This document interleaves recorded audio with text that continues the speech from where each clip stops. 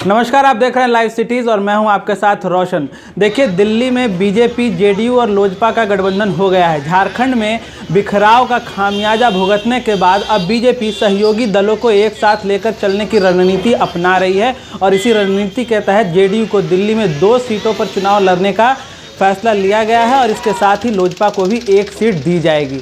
अब इस क्रम में आज जेडीयू के संगम बिहार विधानसभा क्षेत्र से जेडीयू के प्रत्याशी शिवचरण लाल गुप्ता पहुँचे हैं नामांकन करने। इस दौरान उन्होंने हमारे संवाद सहयोगी सौरभ राज से बात की। पहले आप सुनिए वो क्या कुछ कह रहे हैं। दिल्ली के संगम बिहार से जदयू प्रत्याशी हमारे साथ है। इनसे जानेंगे कि क्या भाजपा और जदयू मिलकर संगम बिहार से इस सीट को निकाल पाएगी।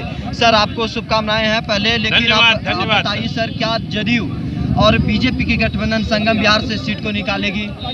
सौ प्रतिशत यह गठबंधन आगे चुनाव में खरा उतरने वाला है। यह जो केजरीवाल चुनाव हमारे यहाँ लड़वा रहे हैं लोगों को पिछले सात वर्षों से इन्होंने कुछ नहीं किया जी। तो क्षेत्र इस विधानसभा क्षेत्र में सिर्फ़ कार्य चाहता है। जी। ऐसे विधानसभा क्षेत्र में जहाँ पे पूर्वांचल और उत्तर प्रदेश है जी।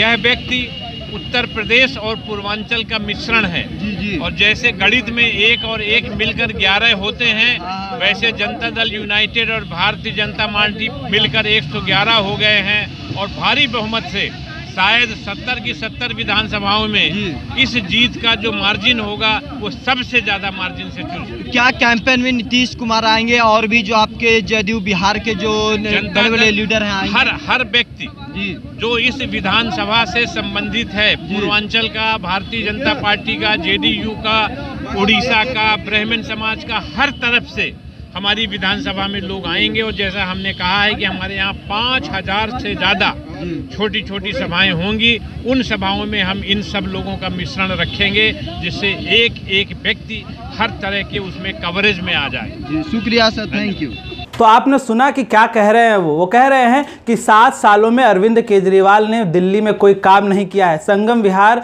विधानसभा क्षेत्र जो है, उसमें कोई विकास नहीं हुआ है। लोग त्रस्त हैं और बिजली फ्री, पानी फ्री के नाम पर सिर्फ़ लोगों को बहलाया जा रहा है, बरगलाया जा रहा है। इसके नाम पर सिर्फ़ लोगों को फुसलाने का काम किया जा रहा है, क्योंकि ये सिर्फ़ चार महीनों का ही है। इसके आगे ऐसा कुछ भी होने वाला नहीं है। इसके साथ ही उन्होंने ये भी कह दिया है कि दिल्ली में सत्तर की सत्तर सीटों पर भी बीजेपी और जेडीयू गठबंधन जीतने का दमखम रखती है, मादा रखती है।